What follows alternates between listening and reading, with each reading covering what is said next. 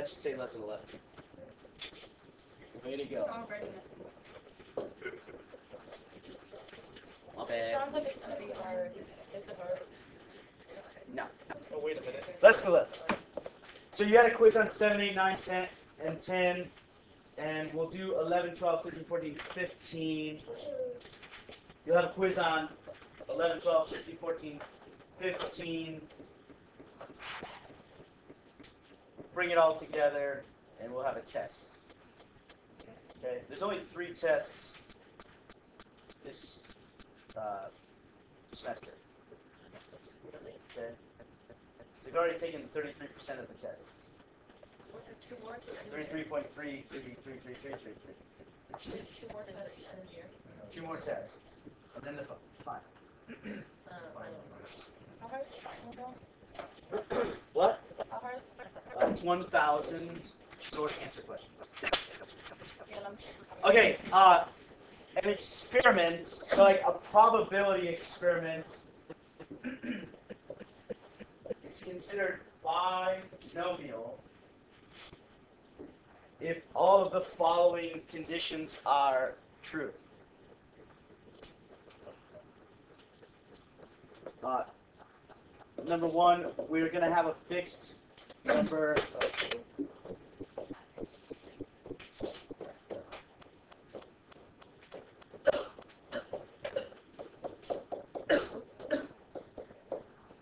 there's a fixed number of independent trials. That means any any trial does not affect the probability of another.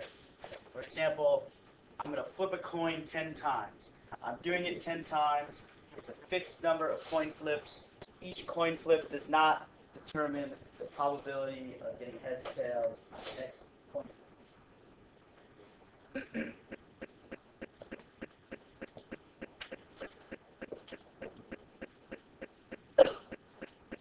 There are only two possible outcomes.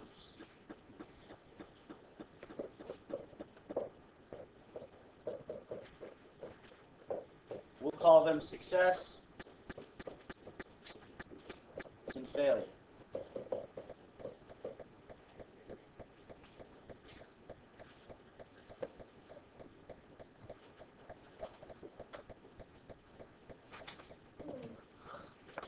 Okay, success doesn't mean like, yippee, we did it. Success is just the thing that I'm looking for. So I flip the coin 10 times. I'm looking for the, the probability of uh, a certain number of times of getting heads. So getting heads would be success, getting tails would be fail.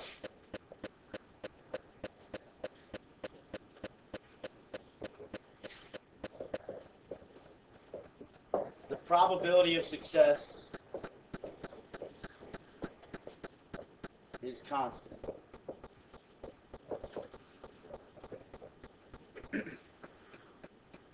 So every time I flip a coin, probability of getting head, getting ahead is one half.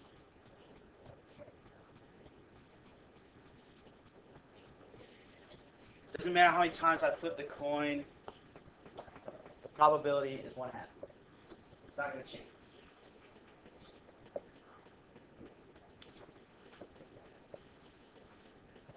Uh, and last but not least, we'll have a variable involved here. The variable is the number of successes. The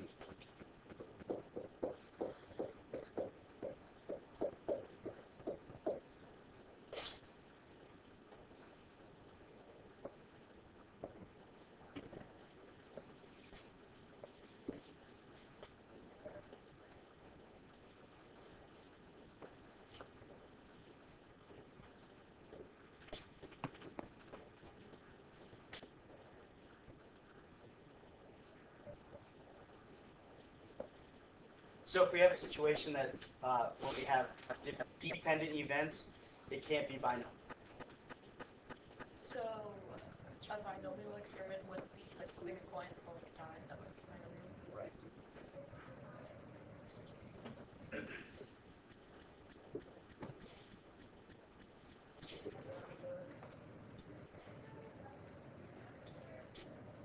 All right, so let's use some. Um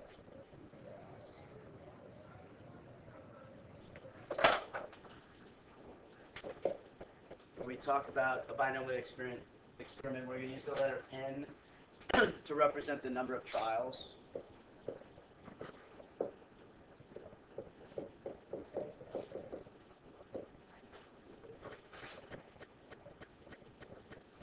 I, I take that back. Uh, You could, as a binomial experiment, do that if, uh, like, you were looking for one specific thing that had a success, just like One number. everything else was failure. So like, looking at heads and But not like getting heads at the beginning, and then even up.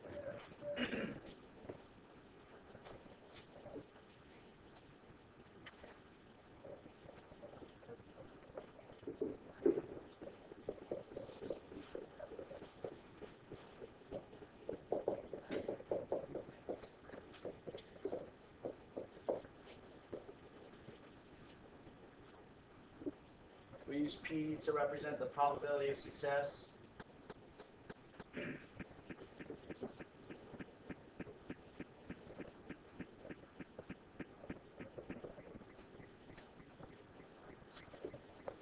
And we'll use Q to represent the probability of failure.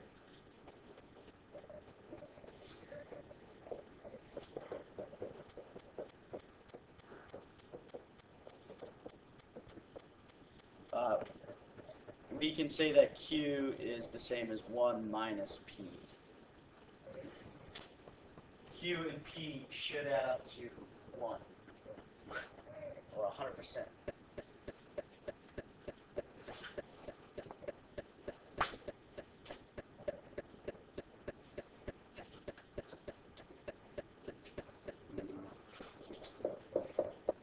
And lastly, X is going to be our variable.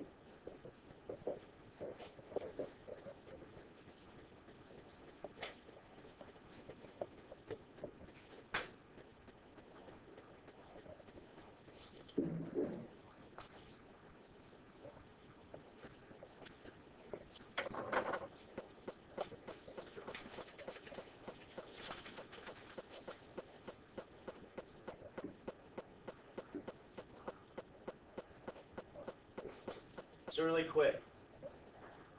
First, somebody tell me if uh, the following scenario is binomial or not.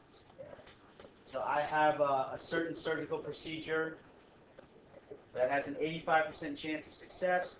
A doctor performs the procedure on eight patients. That is. Yep. It is. There's only two things that can happen. It works or it doesn't.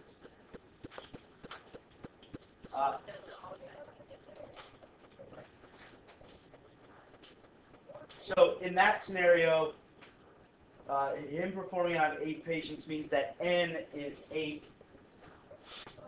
85% chance of success. 0.85 is p. Q is 1 minus 0.85, so 0.15.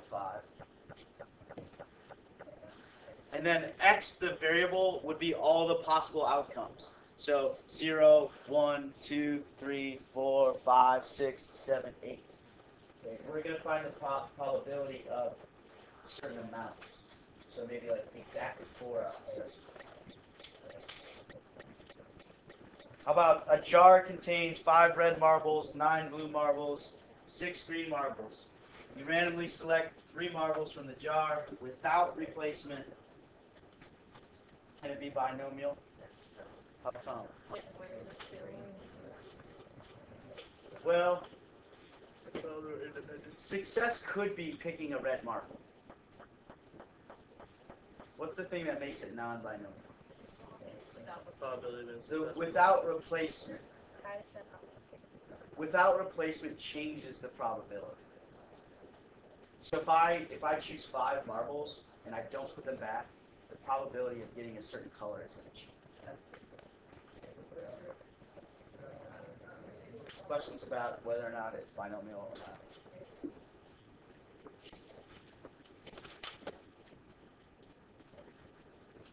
All right, so let me give you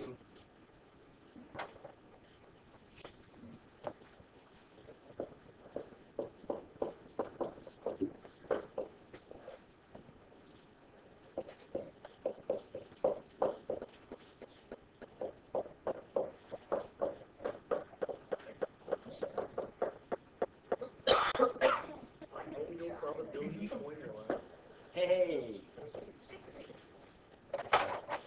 Did you know that or did you see that? I'm saw that.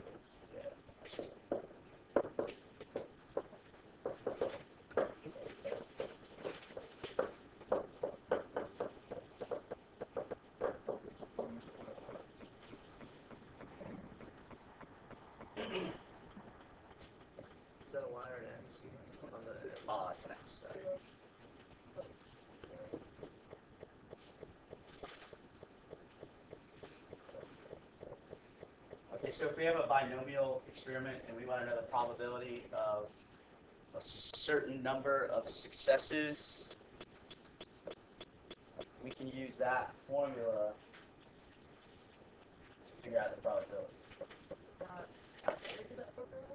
Yeah, that's- What is exclamation point? It means we're excited about n. It's like five times. Yeah, no. Uh, the exclamation is factorial. Oh, what's it there? So it's n factorial divided by n minus x factorial times x factorial. Factorial means you take the number and you multiply it by all the numbers below it. So 5 factorial is 5 times 4 times 3 times 2 times 1.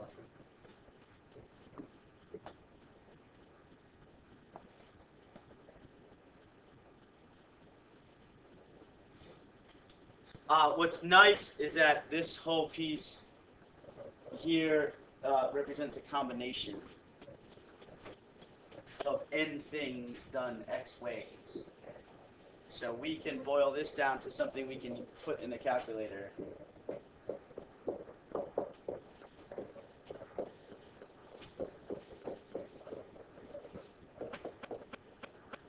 There's still a little number crunch that needs to be done. There, it's- NCR.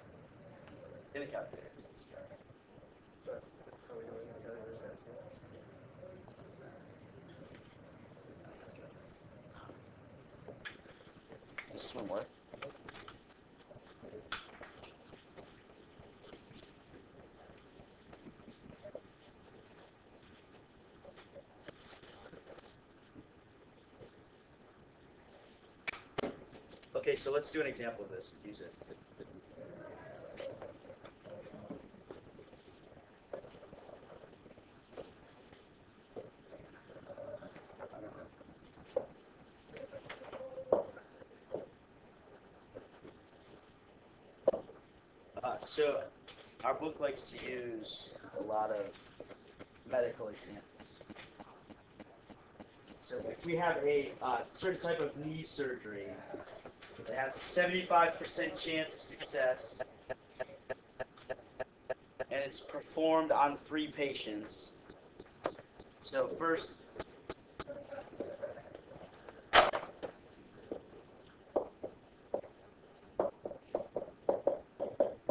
we need the values for all uh, four of our letters. What number is it? It's number example two. Oh, I forgot y'all. If you're on 204, it's example two. And you'll see that uh, if you go there, you'll see that they do it by making a uh, tree diagram and finding all the places where there's two successful knee surgeries and finding out those probabilities. Uh, we're going to do it much simpler by using the formula. So we want to perform the knee surgery on three patients. That's our number of trials.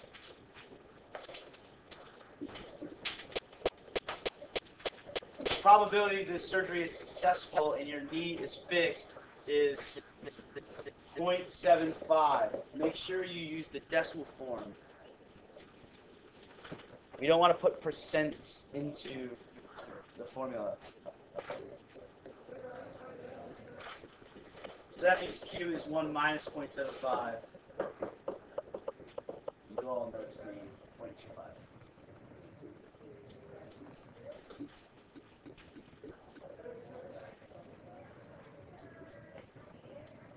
And then they ask to find the probability that it's successful on exactly two patients.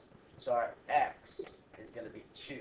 We want two successful knee surgeries. We'd like three, but we want to know the probability there's exactly two.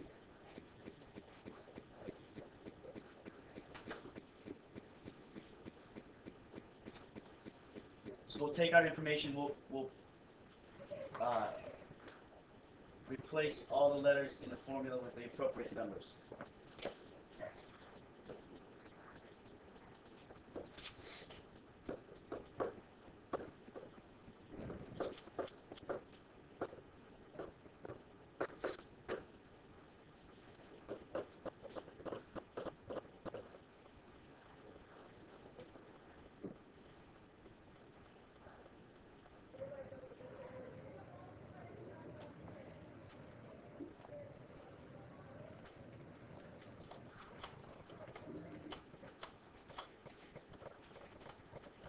So I'm gonna be a stickler on a quiz that involves something like this, and I'm gonna I'm gonna expect you to to show me this.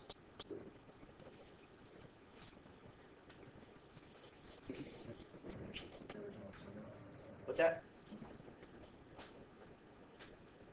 I haven't figured that out yet. So I would err on the side of caution and know it. I, I'm gonna roll that around for for a day or two. We'll, we'll see. Put like two question marks on, like, two of them, like two formula things and the other. That would be kind of cool. Are we gonna use the first? With the factorials, It's the same thing. you know, it's like it's good to know where you came from. I also can show you how like you can get the same answer doing both ways. Um, so to, to get this piece in your calculator, and the reason I want to see this is because if you just give me a number and it's wrong, sometimes it doesn't mean you did the wrong thing. It means you pressed the wrong button. So I like to spin this positively and say, I want you to do that so that I can give you credit where credit is due. If you just give me a wrong answer, even though the only mistake you made was pressing the wrong button, I can't I can't help. So in your calculator, the first thing you'll put in is uh, the N, three. And then you'll hit math. Go over to PRB, we are doing probability. And it's choice three, NCR. They use R instead of X. in it.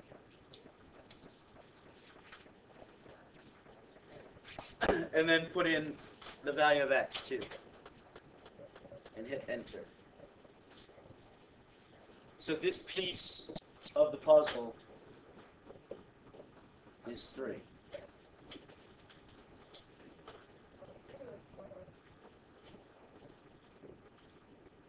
So I'll say that again. You put the first number in, so three. Then you go to math, over to probability, down to where it says NCR, it's choice three. Then you put the second number in two, and you hit enter. That's 3C2, which is three. And then we can just uh, do the rest of these calculations. 0.75 to the second power.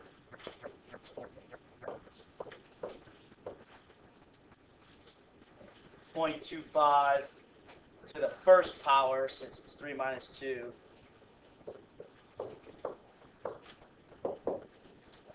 And then we can just put it all together. Bless. Thank you.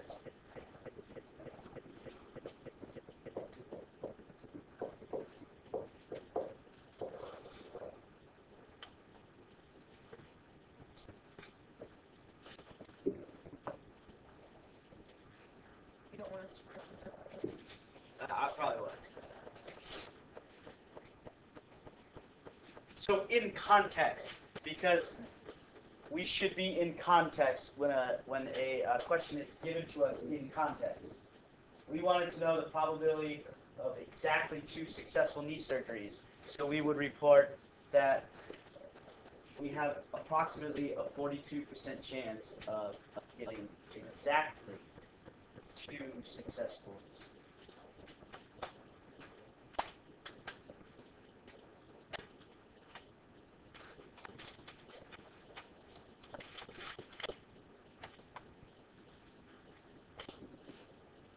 Uh, I always like to do this, make each of these calculations separately, so that I don't forget a parentheses or something like that and get a wrong answer because of the calc. Some people don't like to do that.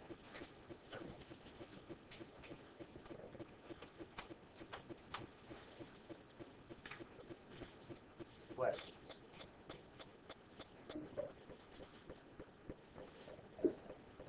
Kind of straightforward. It's a little bit of plug and check.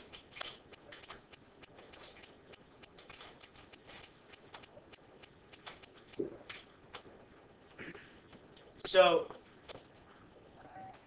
let me add on to this. Let me change the question. I want to know that the, the scenario is the same, except now I want to know the probability that I get at most, at most, two successful nieces. So what are my po- possibilities for being at most two successful nieces?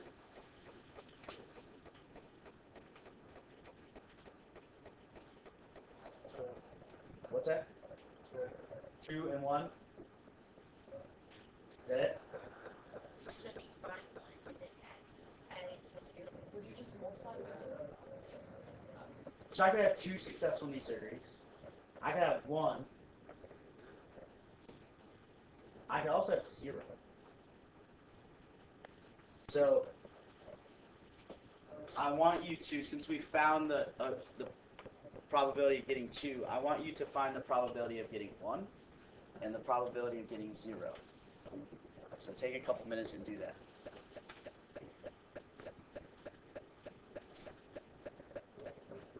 Uh, so who got the probability of getting one? I mean,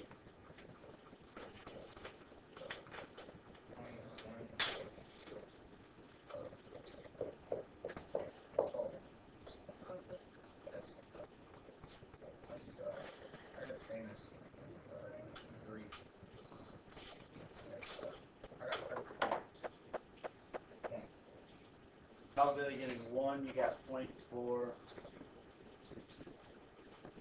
We did something different? I just got the same as What'd you get, Brian? I got point one four zero six two five. Is that what you got, Liam? I got one four zero six two five. So it's it's point one four zero six two five. Uh, somewhere I think maybe you didn't change something. That's what I got for zero. That's what you got for zero. Did you have this? Three C one.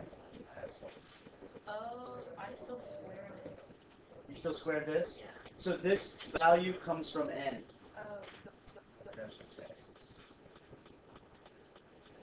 Did you forget to change something? Yep. Cool. Uh, so the only the only number that changes is the the x. So anywhere that it was two before, it's gonna be one, and then anywhere it was two before, for this one will be zero, and we should get.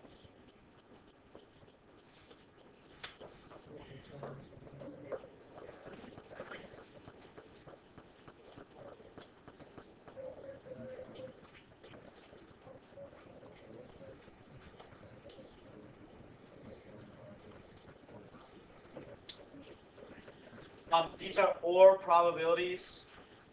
So to bring it all together and find the probability of at most two successful knee surgeries, I'll add the probability of having two, the probability of having one, and the probability of having zero.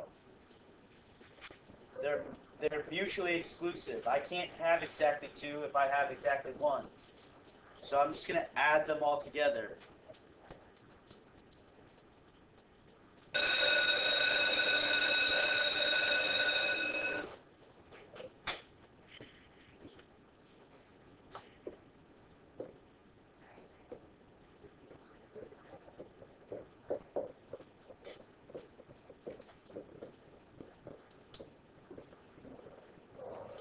So you'll see it written this way. Probability of uh, at most two means that your variable is going to be two or less than two. So less than or equal to two. So you just added. So I just added all three of these. Zero, one, two. And I get that that probability is approximately 57.8%.